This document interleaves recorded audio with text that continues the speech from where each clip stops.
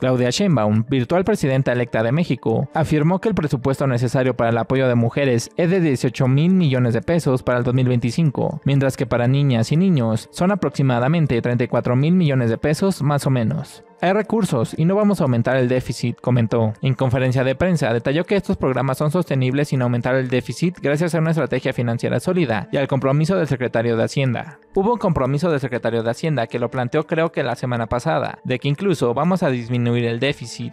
Se puede hacer porque este año se está pagando prácticamente todas las obras estratégicas del presidente Andrés Manuel López Obrador. Entonces, el año que entra ya no vamos a tener, digamos, esa presión del gasto sobre el presupuesto, dijo Shane Pardo.